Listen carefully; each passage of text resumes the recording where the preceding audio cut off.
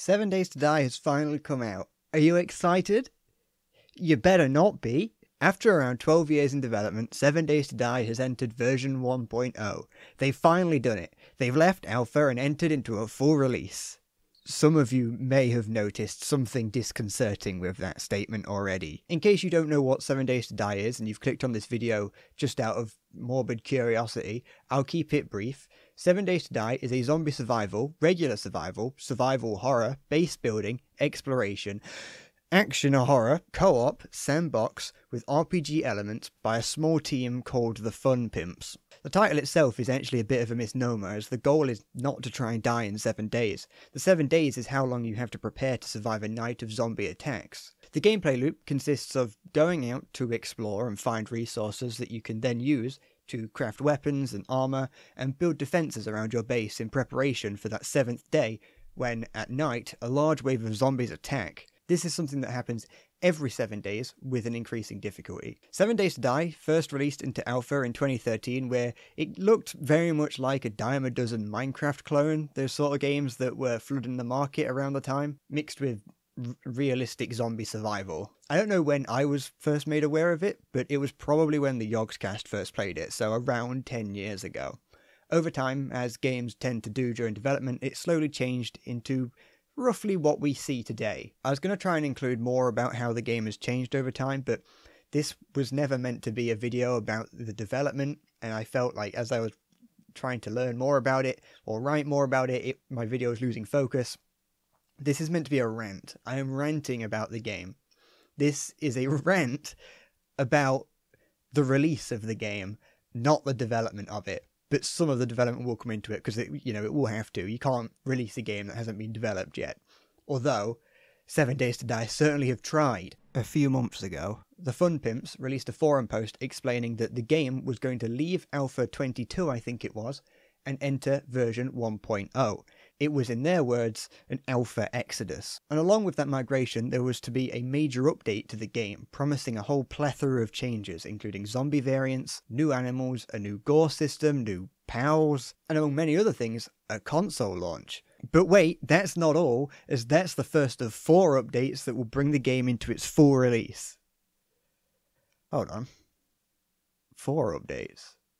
Yep, they released a roadmap explaining that over the course of the next year, there'll be an additional three content updates after the first major update, which is the version 1.0 release. These updates will add an improved weather system, a wardrobe, spawn near a friend, a new quest type, twice, a menu overhaul, a story mode, Steam Workshop support, outfit DLCs, apparently, you think you can hide microtransactions in the tiny print on this low resolution roadmap? I see that. You can't hide that from me. Now, at first glance, this might just sound like I'm being mean to a developer who has been, you know, who's promising updates. Updates are very normal after a game has been released. It happens all the time and is expected and common practice at this point. It's a good thing. But usually, the game hasn't been in development for over a decade, and you're only just now adding the option to spawn near a friend. That's where the crux of this annoyance and this rant comes from, is that this game has been in development for over 12 years at this point, and those are the things that they're adding post release. This game has been released. The release of the game was a few days ago.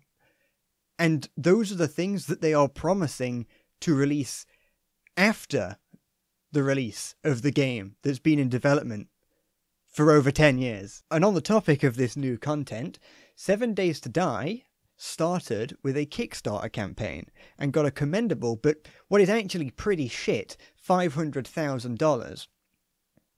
I just want to go on a brief tangent here, just to explain what I just said, because $500,000 sounds like a lot of money. You'd, you'd think I was jealous of $500,000 if I made fun of someone for earning $500,000. But, I, well, I am. I am very jealous of someone having $500,000. I keep saying jealous. $500,000 is only commendable because the original goal was $200,000. I'm going to make some wild estimates here because I do like making spurious claims. According to Census.gov, in 2013, the median income for a household in America was around $52,000. If we make a couple of assumptions that most houses have two people in them, we can make the the broad, very broad and very vague estimate that the median income for an American is around $25,000. As a result, based purely on these numbers that for all intents and purposes I've pulled out of my arse, it would cost around $25,000 just for one person to work on this game for a year. And then they were going to use this $200,000 to hire the quote extra artists, animators, and programmers to do it right. I don't know why there's a comma after extra. It there just is. That money was never going to get them anywhere near what they wanted, even with any extra money that would come through Steam sales. Game development is an incredibly costly experience. Not only do you have to pay for the people, which is very expensive, you have to pay for all the software, you have to pay for licensing music and assets, you have to pay for I, I know I said software, but the engine, unless they're making it themselves. You have to pay to put it on a platform to have it be sold. Just because you don't necessarily have a publisher, it still has to be published. and you're the one that has to pay for it. So, with this $500,000, did they do what they said they were going to do with that money? No, no, of course they didn't. It's Kickstarter, of course they fucking didn't. They may have hired people. I don't know. I don't care. I just want to know if everything that they said they would add into the game is in the game, as they have had plenty of time to do it. And as I mentioned, n- they haven't. There is things on the Kickstarter page that just isn't in this game, which I would like to remind you is over 11 years old. There's no dynamic story generation, there's no tracking or domesticating wildlife. I don't think there's a lunar cycle, but honestly, that might just mean day and night. But that's a pretty stupid way to write that.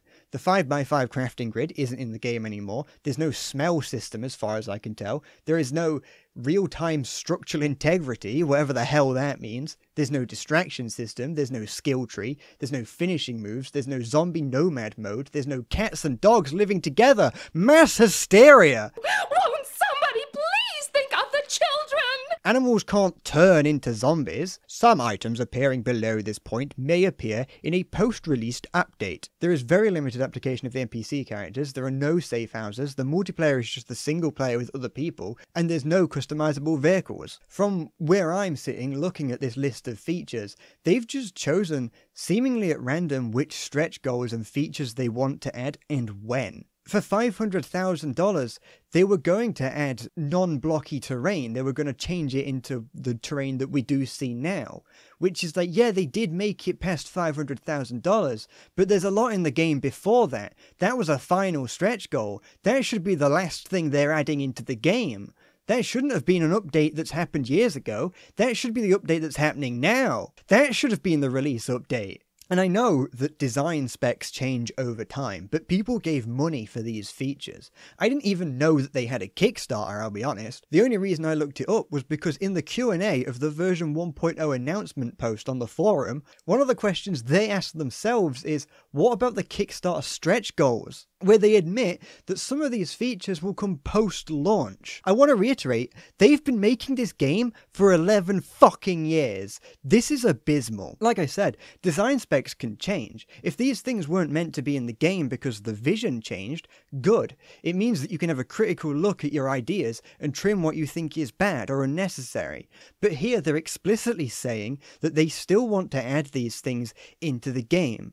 So why are these things that were supposed to be in the game for its 2014 release not in the game for its 2020 fucking 4 release. Now, I know what you're thinking, so don't rush to buy the game just yet. There's still more. Seven Days to Die, the alpha, was available on PS4 and Xbox One. Version 1.0 is not.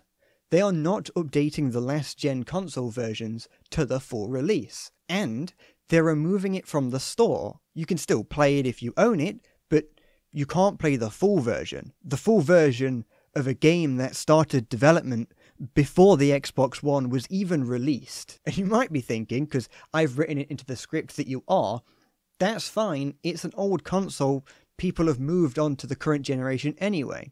So it's not that big of a deal. And you're not completely wrong, hypothetical viewer. If the majority of people have moved on to the current generation of consoles, there's not really any reason to update the old version. And, you know, these people have already bought the game, so it's already on their account that they own it, so they should just be able to download the full version on the new consoles, R- right? Fucking right? No! Fucking no! You have to buy the game again. I haven't mentioned the price yet because most early access games will specify somewhere that the price is going to change. That's just an inevitability of making a game is that you buy into it early to give them money and it's cheaper. That makes sense. I'm fine with that. And you then get access to the game when it fully releases. That's the handshake that you usually agree on when buying a game from someone who releases something in early access. I was going to try and reveal the price at the end to be like this big shocker, but I've changed my mind. I'm revealing it now. The game now costs $45. 40 pounds. That is a lot of money for the game that you're looking at currently on screen. That's a lot of money for any game.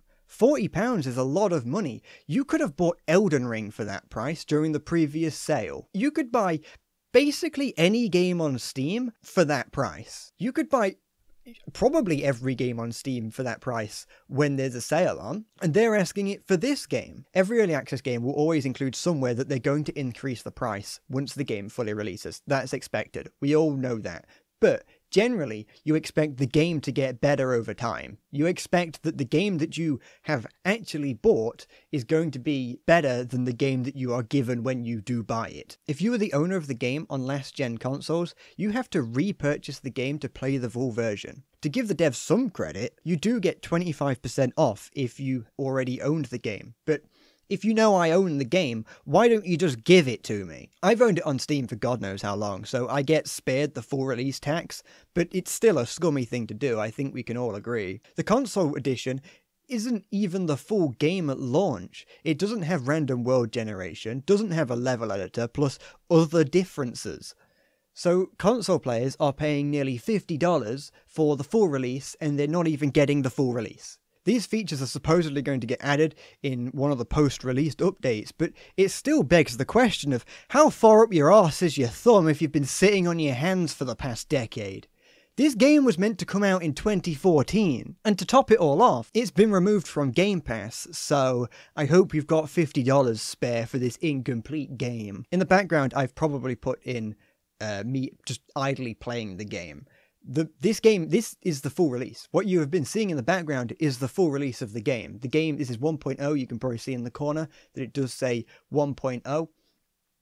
This is the $45 game that has taken them a decade to make, and it's just shameful. On the forum post for the release, the Fun Pimps said this This milestone release heralds a groundbreaking evolution in the survival horror genre, packed with new a wealth of new content, innovative new features, polish, transformative quality of life improvements, optimizations, and revolutionary gameplay systems. No other game offers a fully buildable, fully destructible, truly open world where every location can be explored inside and out, without load screens and with unmatched random world generation dive into the definitive zombie survival sandbox RPG that started it all. I'm not trying to pronounce the map name, I, I ain't doing that. This is pretty much just an outright lie, all of it. Uh, it's a delusion of grandeur at best. The game is none of these things, aside from being fully destructible and open world. It is not groundbreaking. Maybe back in 2013 it would have been, but that's a stretch. When this game hit version 1.0, it was not packed with a wealth of new content. It was not packed with innovative new features. There was no polish, no transformative quality of life improvements, few optimizations, and no revolutionary gameplay systems. I'm imagining those like old arcade cabinet and NES style adverts of like children being sucked into the game world or having all their hair blown off or whatever, with just how amazing it is when you call it a revolutionary gameplay system. That's the me problem, I'm aware, but they knew what they were doing. The only thing they do have is a fully destructible, fully buildable world with no loading screens. But if that's what it takes to be groundbreaking, then no ground was broken because Minecraft did that in 2009. oh, ah, actually, you know what? You, it's just me being an idiot. There's a loading screen in Minecraft when you enter the nether. If you would like a closer comparison, because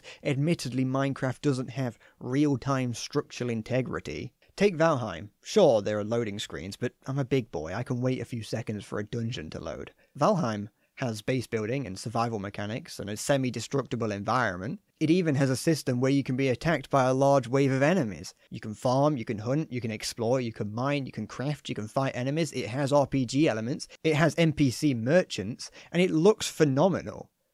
Valheim didn't have a Kickstarter, as far as I'm aware. Development was started in 2017. The alpha released in 2018, and it entered Steam Early Access in 2021. And Valheim costs 15 quid currently, with plans to increase it over time as more content is added, which they have shown they are more than capable of doing. The team behind Seven Days to Die should be ashamed of the product they have produced. They have spent over a decade of their lives making a tech demo that may be slightly harsh, but the game is out now, so I can judge it freely. This game hasn't left alpha. They've added some higher poly models to the game, increased the resolution of some textures, removed the sexy nurse zombie, added jiggle physics to the female zombies. Don't ask why I was looking. Hold on, did I just I don't want to admit to know. I don't want to admit to noticing this, but did they add jiggle physics to this to this thing's titties? Yes. For some reason, they've only given a 3D model to the cotton plant while leaving all the other plants the same. The lighting glitches all the time, zombies walk over each other. All this release has done is slap a new coat of paint on it, but the coat is so thin that you can still see everything underneath. They didn't even bother to add new loading screen images, for goodness sake. The model, like, they, have changed. The, the cotton now has 3D models, I'll give it that. They've added a 3D model to the cotton plant that that's been a 2D texture for 11 years, and so they've added a 3D model for the cotton plant. I haven't added a 3D model for the flower though, but the cotton plant is at least 3D. what is the lighting doing? What? What? What the actual? How do you spend 11 years on a game and have it look like this? 1.0 is out. This is the game from seven years ago. That's the game now. There's a fucking bear.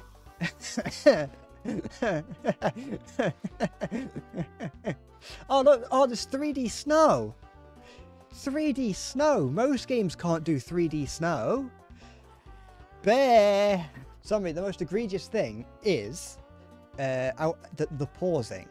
The speed at which the game will pause so, or more specifically, the speed at which it will load the pause menu, which is that long. it freezes.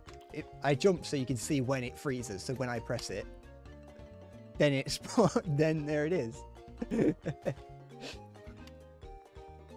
it's so fucking long. There's a how big is that bear? That's not. I I know a big bear when I see one, and that's not the size of a bear. Bears are not the size of cars. it's fucking huge. Why is it so big? Honestly, I mean, it's animated pretty nice. I was just it looks, it's it's a nice looking bear. I'll give it that. There's a nice looking bear model. Interjection bread here. Uh, I've just finished playing the game a little bit more just to, you know, prove, just so I, just to find out whether or not uh, I was being a little bit exaggeratory about some of the things that I've said, which I probably am. Um, but I didn't notice when I first played it, but I have now that when you first load up the game or just when you load up the game on the splash screen it still says that the title is pre-release software. They haven't updated that to say it's full it's it's it's not pre-release anymore. Because this either implies that it's not it's still in a pre-release phase or they have also just not been bothered to remove evidence of the fact that it's still in pre-release. Not only this some unrelated but still minorly annoying. I don't know if minorly is a word. I've been working on this video for over 10 hours today.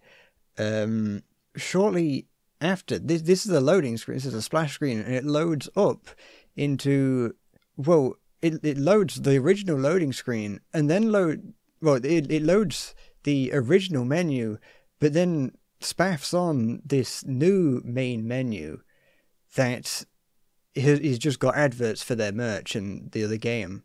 Uh, I very t- very briefly touch on the other game at the very end. So yeah, even this is lazy. It doesn't properly load. It, it doesn't they haven't got rid of the pre-release thing, and it doesn't load prop into the the menu properly because it loads into the old menu and then puts the new menu on top of it. And even when you press continue, it just takes you to the next menu. So all you're doing is the equivalent of pressing skip ad when you press continue. Uh, this, um, maybe I'll interject again at some point, or maybe I already have. I'm not sure. Uh, this was just something that stood out to me that I just needed to make sure that I put in I was going to call back to the beginning where I mentioned that they went from alpha to release, completely skipping the beta phase, and then come back around to say that this isn't a full release, it's a beta. But as I've been reviewing my thoughts on the game, it, it isn't even that. It's still an alpha and a beta at best. This, of course, wasn't meant to be an exhaustive look at the game and its development. This was mostly just a rant that I made in one sitting. I played the game on stream the other day, and I'm shocked at what the game has become, or more specifically, what it hasn't become. My computer is making noises that I don't think it should do while playing an indie game. Especially one that's been in development for 11 years. But I cannot express this enough that this game took 12 years to make and will be in its 13th by the time the roadmap is finished.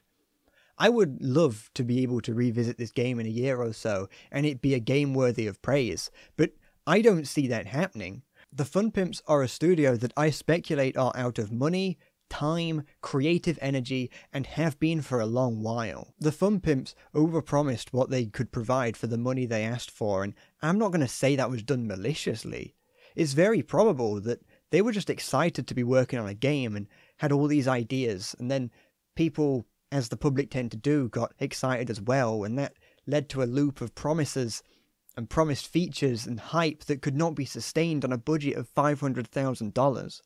I don't take back that they should be ashamed of what they've done. They're adults. They needed to take responsibility for what they did and scale everything back accordingly. Make a base game that is solid and then build from there. But as seen in which stretch goals were added and the fact that some of the pre stretch goal features are still not in the game, they just picked random things that they thought would be cool from the list and half assed them in, and then moved on to the next thing. I think there's something to be said about a line under the Where's Your Money Going banner on Kickstarter. We're too experienced to call indie, but still small enough to do the innovative and sometimes risky things that AAA studios are afraid to try. They claim to be too experienced to be called an indie. I assume they mean studio or game, but I think they fundamentally misunderstand what being an indie dev is. It's not about experience, it's about being indie fucking pendant. At the time they wrote this, the Fun Pimps were around five people working a mix of part and full time, and I don't know about you, but that sounds a lot like an indie studio to me. They describe themselves as highly experienced, and I know that this is a Kickstarter pitch, so they have to toot their own horn a little, but now it's beginning to look a lot like they're too full of themselves to admit that they don't know how to make a game. They want people to know they're very good at making games, and this isn't an indie game, this is the next big thing. So good, in fact, that they're going to spend 13 years on a three year project it's kind of interesting looking back from the future that one of the games that they showcase as an example of games they've worked on is Duke Nukem Forever. I am not a psychoanalyst. I'm not going to go too deep into this rabbit hole. And by that I mean I'm not going to go any further. It would be wrong of me to do that. I can't tell you how these people are thinking. I can't tell you why the game is like it is. I'm not doing that. That's for someone who is much more experienced in this kind of thing than me. I am just a rando on YouTube who thought it was at least worth mentioning. That being said, not to rub in that they don't know what they're doing, we can make assumptions that Seven Days to Die would have been partially inspired by the DayZ boom. Soviet Womble has done a number of good videos about this DayZ like genre, so I'll let you watch those for a greater explanation. But one other game to come out of that is Unturned, which is a zombie survival base building game that differs a lot from Seven Days, but they do share some similarities. And if DayZ is the progenitor of these games, it's worth comparing them, especially since they are games that came out around the same time of each other. Unturned may not look like much, but it entered early access almost exactly a year after the alpha of 7 Days to Die was released. It was one of the most popular games of 2014, was free, has since been released on all major consoles, and most importantly, was the passion project of a 16 year old in Canada who made it on no budget. The Fun Pimps on the Kickstarter page claim to be people who are doing this as a passion thing. They're passionate about what they're doing, they've experienced, they're really enjoying what they're doing. They even make reference to the fact that when making the Kickstarter, what they had was apparently quite a lot for a Kickstarter. Maybe Seven Days to Die is still a passion project, and all these people who are making Seven Days have been working on other things in the background. And this is just something that they've been chipping away at for the past decade. But I would argue that in that case, why is it not better?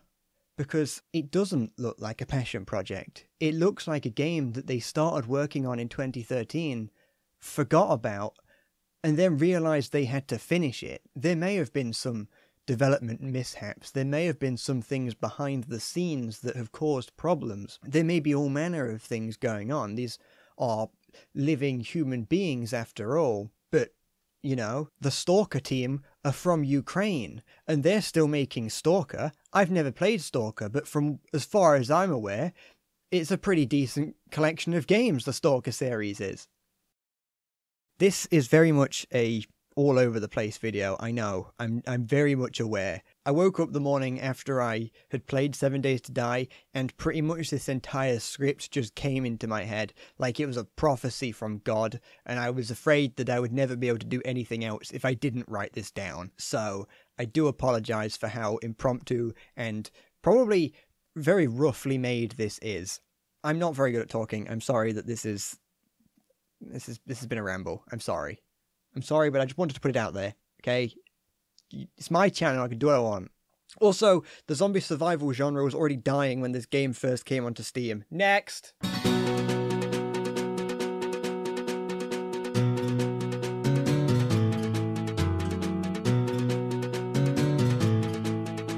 Oh, oh! I, I, I never, uh, I never mentioned that they now have an advert for their new game on the first of the two main menus, where it looks like they're trying to make Seven Days a brand like Hello Neighbor or FNAF. That's purely conjecture. Anyway, it's a 1v4 co-op survival base building game where one person plays the zombies and the other four has to survive. It it seems like something that should have been in the in the base game. Uh, don't buy it.